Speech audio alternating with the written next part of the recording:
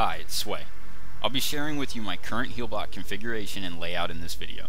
First off, let me start by saying that this is my first WoW related video that I've produced, and that the quality and content may not be the best, but I do hope to improve over time and release future videos, so I'll be treating this video as somewhat of an icebreaker.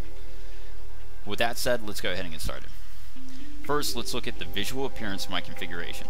A few things that you should note is the grid style layout that I have the bars colored by class, and that the group headers are visible in the actual position and size of Healbot itself. I have Healbot set to a 5x5 configuration for 25-man raids, and a 2x5 for 10-mans. I use this grid-like layout to reduce the distance my mouse has to travel to reach the next heal target, and preserve as much of my screen real estate as possible.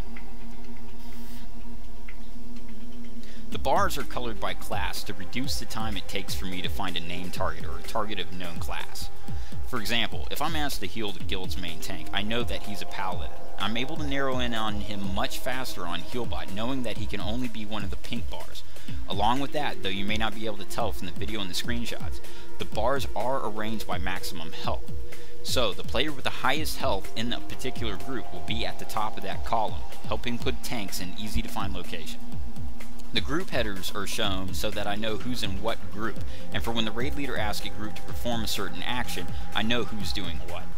I tried to make sure that the Healbot frame itself is as small as possible without making the bars too small to clearly see, and in a central location but still out of my main viewing area. Next, let's look at some of my actual settings. First, I have the options button hidden to reduce Healbot's size and its position locked in place. My spells are bound to the keys based off how often I use the spell. As a Resto Shaman, my main spell is Chain Heal, and I keep it bound to left click.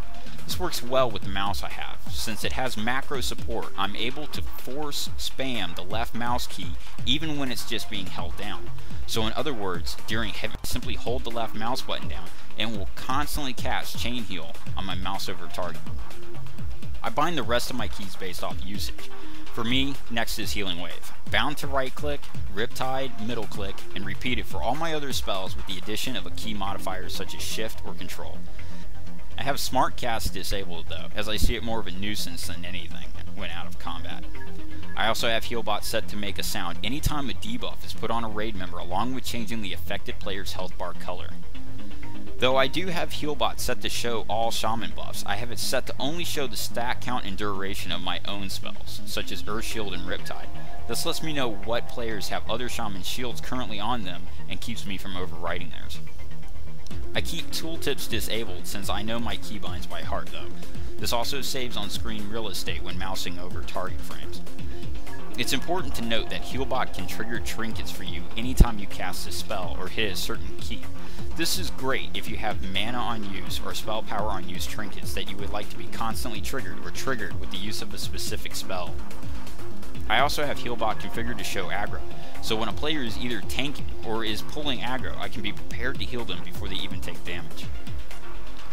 The last setting I'm going to go over is an adjustable alert level, which keeps players at a preset percent of health greater than or equal to that amount slightly grayed out.